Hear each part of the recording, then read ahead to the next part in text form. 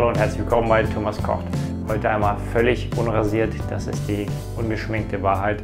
Ich würde gerne sagen, ich habe keinen Rasierschaum mehr bekommen, aber das wäre leider gelogen.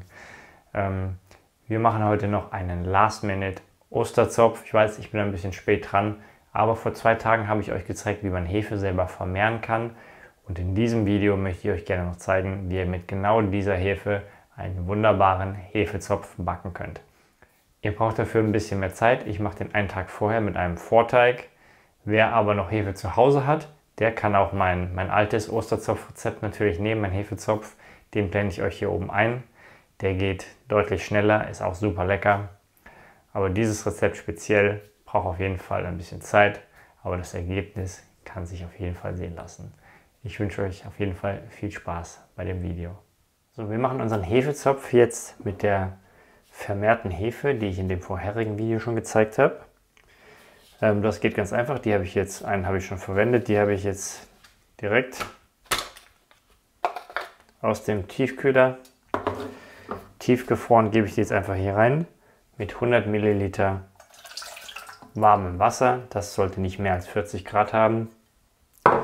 Das kühlt zwar direkt trotzdem runter durch den Eiswürfel jetzt natürlich, aber das macht auch nichts, denn der Teig geht über Nacht und hat so genug Zeit äh, zu gehen. Ich habe auf meinem Kanal auch noch ein Heferezept ohne Vorteig. Das blende ich euch oben ein, ganz normal mit frischer Hefe, wenn ihr die zu Hause habt. Dieses Rezept mit Vorteig könnt ihr aber natürlich trotzdem auch backen, wenn ihr Frischhefe zu Hause habt oder Trockenhefe. Dann nehmt ihr für den Vorteig hier einfach eine ganz kleine Menge, etwa eine erbsengroße Menge, also so 0,5 Gramm Mehr braucht ihr da gar nicht. Das Ganze lösen wir dann erstmal auf. Ja, das geht relativ schnell, dauert ein paar Minuten höchstens.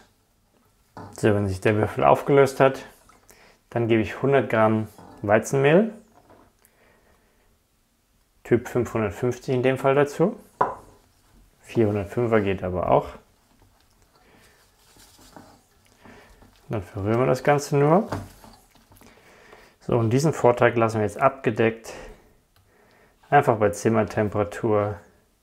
Stellt ihn nicht zu warm, denn sonst könnte er zu schnell gehen.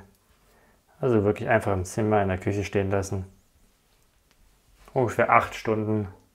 Wie gesagt, bei mir ist jetzt hier ist gerade halb elf. Und morgen früh werde ich mir anschauen, wie das Ganze aussieht. Ich nehme hier übrigens bewusst keine Milch für den Vorteig, denn dadurch, dass ich den Teig die ganze Nacht bei Zimmertemperatur gehen lasse, ist mir das mit der Milch ein bisschen zu heikel. Für den Hauptteig später nehmen wir dann aber wieder Milch. Das ist unser Vorteig, den ich gestern Abend angesetzt habe.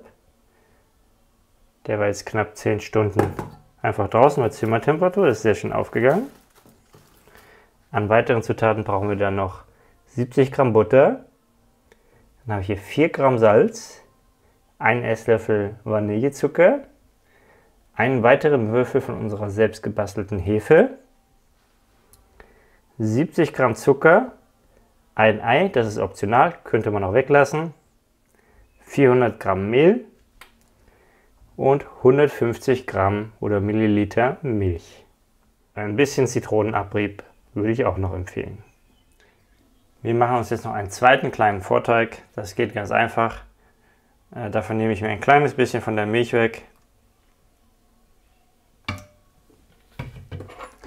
Hier von unserem Zucker so einen guten Teelöffel etwa, ein Esslöffel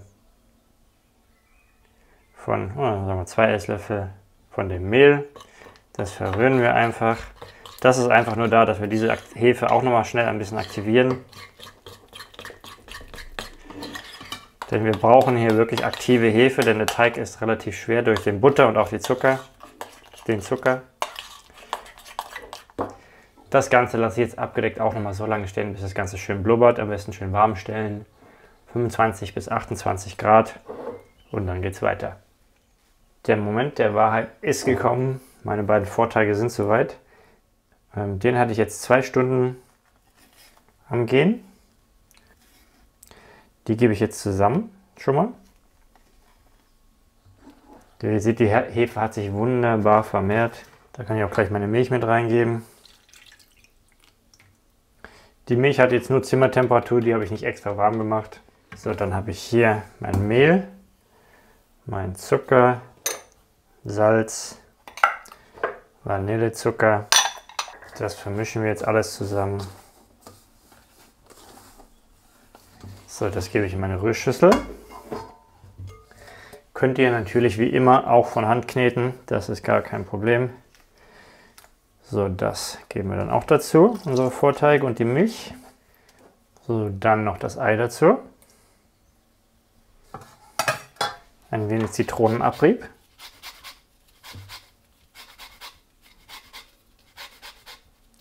Solltet ihr natürlich immer waschen, auch wenn das eine Bio-Zitrone ist, heißt das natürlich nicht, äh, dass man die dann nicht mehr wäscht. So, ich nehme jetzt hier so ein Viertel bis halbe ab, abgeriebene Zitrone. Wichtig, dass ihr wirklich nur das Gelbe abreibt und nicht ähm, das Weiße, denn dann wird es bitter. So, die Butter gebe ich ein klein bisschen später dazu. So, das Ganze knete ich jetzt erstmal 3 Minuten auf Stufe 1 und dann nochmal so 7 bis 8 Minuten auf Stufe 2. So, nach 10 Minuten hat sich der Teig wunderbar von der Schüssel gelöst. Jetzt kneten wir nur noch die Butter rein. Das machen wir aber nicht auf einmal, sondern so in zwei, drei Gängen. Die Butter habe ich jetzt auf Zimmertemperatur ähm, kommen lassen. So, ich habe jetzt kurz den Teig noch von Hand geknetet und die Butter eingearbeitet, weil das in der Knetmaschine sich dann manchmal einfach nur im Kreis dreht, wenn man Butter nachträglich reinmacht. Dann geht das mit der Hand manchmal schneller und der Teig ist bombastisch geworden, also wirklich super elastisch. Ja, klebt auch nicht mal in den Händen. Das ist das Zeichen, dass er auch gut geknetet ist. Wenn da nichts mehr dran klebt. So, den müssen wir jetzt nur noch gehen lassen. Den lassen wir jetzt erst nochmal gehen, bis er sich ungefähr verdoppelt. Kann zwei Stunden dauern, kann auch länger dauern, je nach Temperatur. Also ich lasse den jetzt nicht zu warm stehen, einfach Zimmertemperatur. Ich habe hier nochmal eine saubere Schüssel. Ihr könnt den natürlich in eurer Knetschüssel auch machen. Den decken wir jetzt nochmal ab mit einem Deckel oder mit einer Folie und lassen den nochmal gehen, bis er sich ungefähr verdoppelt. So, der Teig hat sich jetzt gut verdoppelt. Richtig schön von der Konsistenz her. Perfekt. So, jetzt müssen wir den formen. Dafür gebe ich den jetzt erstmal auf meine Arbeitsfläche. Kleines bisschen Mehl oben drauf auch. Die Konsistenz ist wirklich perfekt. Also schon, schon sehr gut äh, diese Teige mit ähm, langer Teigführung und sehr wenig Hefe. So, ich teile den jetzt Pi mal Daumen einfach in der Hälfte durch. Zwei Zöpfe. So, wiegen wir mal den einen hier. 500 Gramm. Das teilen wir grob in zwei. 250, perfekt.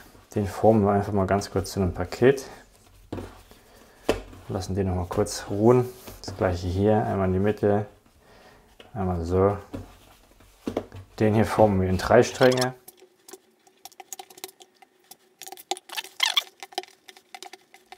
So, die Stränge rollen wir jetzt aus. Verklappen wir das einfach mal in die Mitte. Das ist so ähnlich wie bei meinem Baguette. Bei meinem Baguette-Rezept. Dadurch gehen die nachher auch besser auf, wenn man die so, so ausrollt.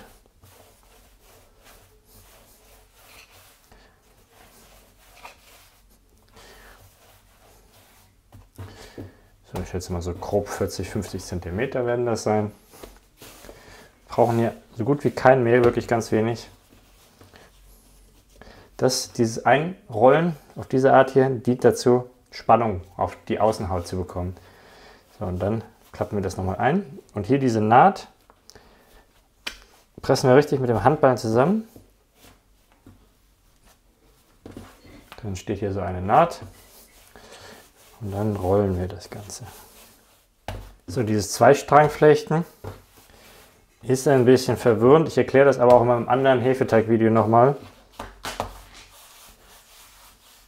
Ich finde, das Ergebnis ist schöner, aber man muss es natürlich nicht so machen. So, dann legen wir einfach in einem Kreuz übereinander, dann nehmen wir die unteren Enden und legen die einmal kreuz und quer rüber einfach. Das gleiche machen wir so.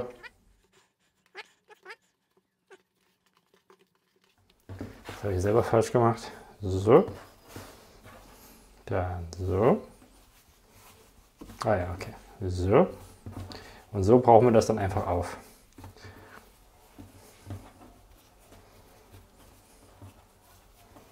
So, am Ende einmal kurz richtig schön zusammendrücken. Und dann sieht das Ganze so aus. So, dann pressen wir die hier an einer Seite. Wichtig ist, dass ihr dann nicht mehr zieht, äh, die, die Stränge zieht beim Flechten, sondern sie einfach wirklich nur übereinander legt, denn sonst äh, werden die an einer Stelle immer dünner. So, ich glaube, das hat vielleicht wahrscheinlich jeder schon mal gemacht, einen kleinen Zopf geflochten. Einfach immer einen über den anderen. Wirklich nur legen, wie ihr hier seht.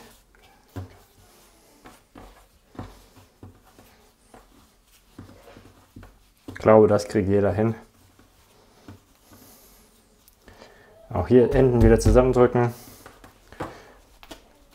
Und dann wandert der auch auf ein Blech. So, die lassen wir jetzt so nochmal abgedeckt mit einer Folie am besten, so dass es nicht anklebt. Also schaut, dass ihr hier vielleicht was drunter legt, dass das nicht direkt rankommt. Könnt auch ein feuchtes äh, Tuch nehmen, geht auch. 45 Minuten bis eine Stunde gehen, sollte sich noch mal ungefähr verdoppeln. So, wenn euer Hefezopf schön aufgegangen ist, hat bei mir jetzt eine Dreiviertelstunde gedauert, dann bepinsel ich ihn noch mit einer Ei-Milch-Mischung. Ich habe hier ein ganzes Ei mit einem Schuss Milch. Am besten mit dem Pürierstab aufmixen, dann habt ihr eine schöne homogene Masse. Das ist deutlich besser als nur mit der Gabel. Notfalls geht aber auch mit der Gabel. Und dann streichen wir das Ganze noch schön ein. Das gibt dem Ganzen dann nachher nämlich den Glanz. Ups, nicht zu viel, dass ihr, dass ihr das nicht auf der Seite habt, so wie ich. Oder auf dem Blech habt, so viel. So, dann sollte der Ofen vorgeheizt sein. Also mindestens mal 20 Minuten bis halbe Stunde vorher einschalten. 180 Grad unter Oberhitze. Ich stelle mir in den Boden noch ein Blech oder eine Pfanne, eine feuerfeste, in die ich dann so eine kleine Tasse heißes Wasser schütten kann. Also wirklich nur ein kleines bisschen Wasser, dass der so am Anfang ein kleines bisschen Dampf bekommt. Dann geht der nämlich auch besser auf, ohne einzureißen und bleibt schön saftig.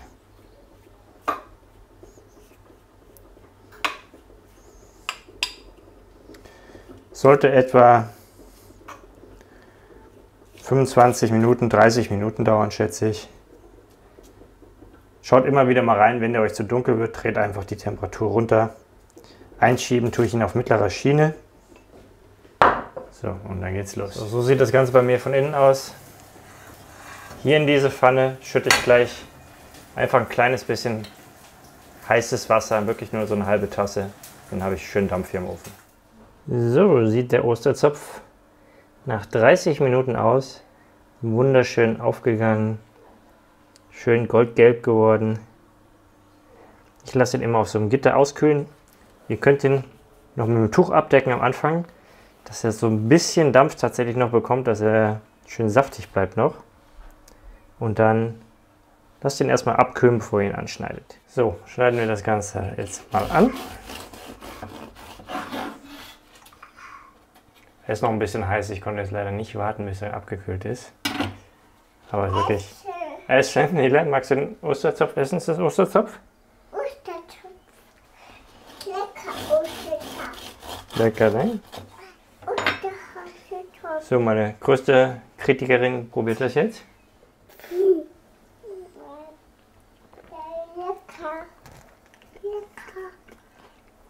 Hm, sehr gut. Ah, der Zopf ist wirklich super saftig geworden. Also dieses Backen mit wenig Hefe über lange Zeit äh, gibt doch wirklich einen tollen Geschmack. Kann ich wirklich nur weiterempfehlen. Sehr, sehr lecker. Wir haben jetzt eigentlich auch schon den halben Zopf in 5 Minuten weggegessen. Ich hoffe, das Video hat euch gefallen. In dem Fall freue ich mich natürlich wie immer, wenn ihr mir einen Daumen hoch da lasst. Abonniert meinen Kanal, wenn ihr das noch nicht getan habt, und dann verpasst ihr auch keines meiner Videos mehr. Und dann hoffe ich, ich sehe euch beim nächsten Mal wieder. Bis dann, frohe Ostern. Ciao, ciao.